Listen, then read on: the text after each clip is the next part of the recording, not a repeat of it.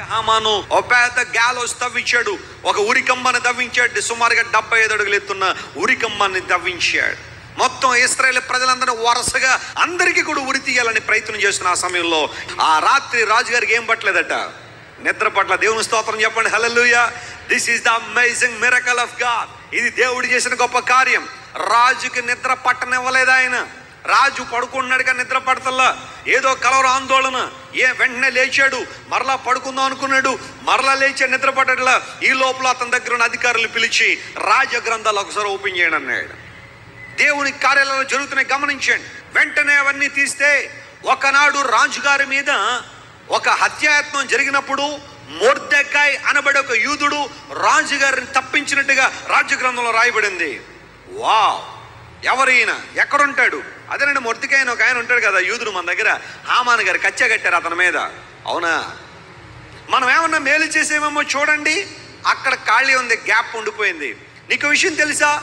దేవుడు కొన్నిసార్లు నువ్వు చేసిన దానికి వెంటనే ప్రతిఫలం నీకు రాకపోవచ్చు. అనుకుంటాం.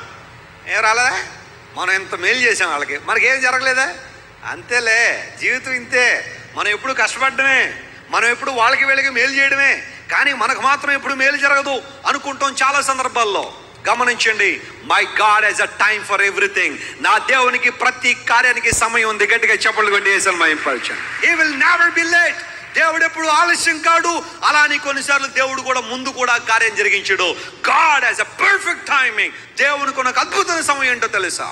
నేను అనుకుంటాను మూర్తికై ఆ సమయంలో మేలు పొందుంటే ఒక వంద ఎకరాల భూమో ఒక నాలుగు కేజీల బంగారమో ఏదో ఇచ్చి తప్పించుకున్నాడు. కానీ దేవుడు అంతకన్నా ఎక్కువ మేలును మొర్దికాయకి ఇవ్వాలనే ఆ సమయంలో మొర్దికాయని దేవుడు ఆప్షన్లో పెట్టుంచాడు. అంటే అతనికి ఏం మేలు జరగకుండా దేవుడు ఆపుంచాడు. కొన్నిసార్లు నువ్వు అనుకుంటున్నావు వచ్చానండి ఒక ఆరు నెలలు మేలేం జరగలేదండి.